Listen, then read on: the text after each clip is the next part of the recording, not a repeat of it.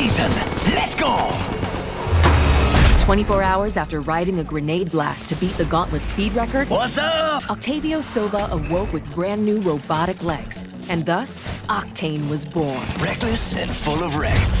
With the ability to regenerate in combat and a never-ending supply of stim, this daredevil literally runs circles around the competition. Awesome! But his ultimate trick I'm going up, is his jump pad. and you're going down. Hurtling through the air, Octane's dream is to become the Apex Arena's most extraordinary That's how you do it. and death-defying legend. Time is flying, and I am too. Whoa, what a rush!